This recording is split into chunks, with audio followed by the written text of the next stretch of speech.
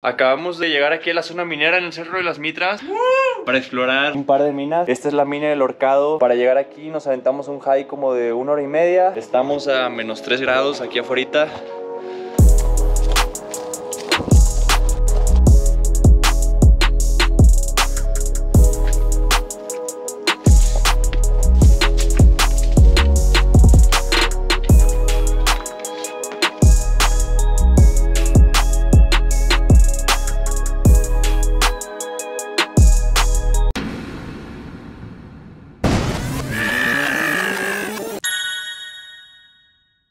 Son minas muy profundas, puede que inexploradas en muchas de las áreas. Vamos a ver qué sorpresas nos encontramos. Venga, a darle con todo. Estas minas tienen más de 100 años de haber estado abandonadas. Dejaron de funcionar en 1920. Y de aquí sacaban plomo, algo de plata. Wow. Hay que subir por aquí, güey. Está bien interesante esa escalera. Es mi turno de subir esas escaleras. Está este palo que supongo que tiene más de 100 años aquí. Y esas escaleras probablemente también, no estoy seguro. Sebas conoce esta mina y pues por eso estamos subiendo por estas escaleras. Vamos a ir a otras minas que dicen que son más profundas todavía que esta. No sabemos qué nos vamos a encontrar ahí, pero sí está muy interesante esto. Y estoy llegando a la cima de estas escaleras. No se ve, seguramente está abajo. Pero son unas escaleras muy delgaditas, oxidadas. Y tengo 20 metros de caída para abajo. Ah.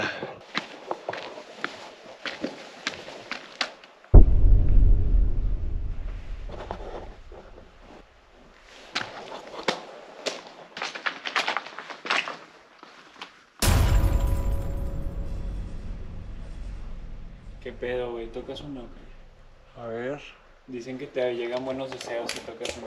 Ah, sí. Déjame pedir un deseo.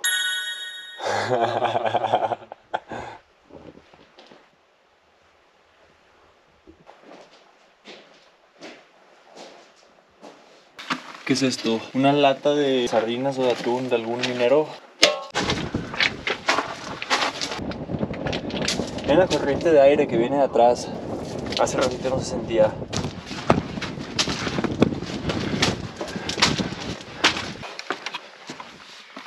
¿No te quieres meter al agua? Pues como que dan ganas, ¿no? Está helada, güey. Ah, sí. Sí. Súper helada. Súper helada.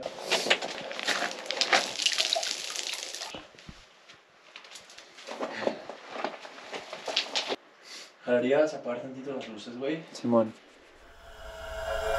Esta pequeña acumulación de agua demuestra lo que habíamos investigado antes de venir aquí. Dicen que habían muchos accidentes en esta mina, que era la mayor accidentada de esta zona. Básicamente era por las inundaciones que habían y por lo inaccesible de las áreas. Y pues sí, realmente hay muchas partes que están muy expuestas.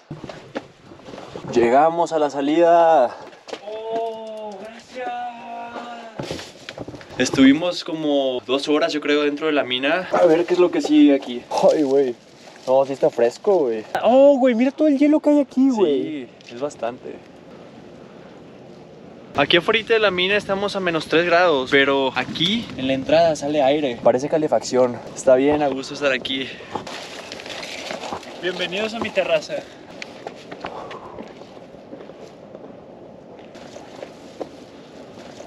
Ahora vamos a tener que bajar por estas escaleras. Son unos 80 metros hasta donde comienza la siguiente mina. Vamos a ver qué tal. El Sebas afortunado que tiene guantes. A huevo.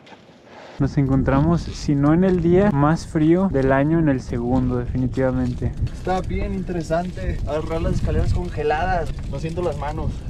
Güey, por favor graba esto. Impresionante la cantidad de hielo. Gracias.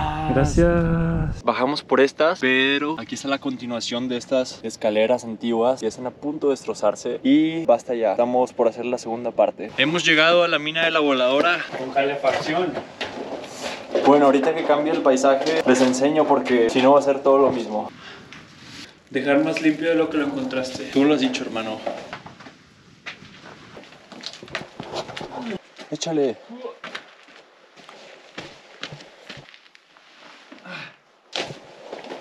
Ahí está la salida. Ah, está en súper corto, güey.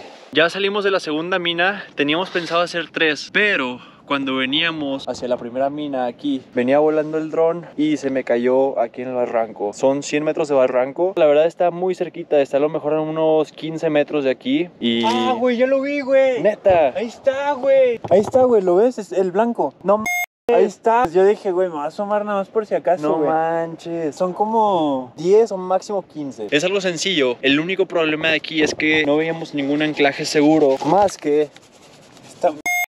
este pedacito de unos, no sé, 10, 15 centímetros. No se antoja poner una cuerda ahí para rescatar un dron por un precipicio de 100 metros o más. Y pues acabamos de descubrir que allá hay otro pedazo de metal. Este es como de unos 30 centímetros. La operación de rescate de dron consta en amarrar la cuerda aquí y luego esa misma cuerda amarrarla ahí y de ahí descender. Entonces ya tenemos dos puntos de anclaje. Pues esa es la idea que traemos. Deseenos suerte. Venga. La verdad, esto del dron, no sé ni cómo pasó. Lo venía volando, estaba en modo automático. Pero estábamos a menos de 0 grados, estaba nublado. Y pues nos iba siguiendo así. Empezó a bajar, no lo pude controlar. Traté de subirlo, pero ya no estaba respondiendo. Y se fue directo ahí. Digamos que aprendimos a no volarlo a 0 grados. Anclajes listos y comienza. Venga, hermano. Gracias. Gracias. Aquí tengo el dron, ahorita lo voy a guardar en una bolsita que traigo. Vamos otra vez para arriba.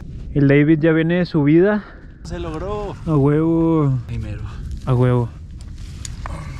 No es que salió este pedo, güey. Señorón dron rescatado. Increíble. Sí.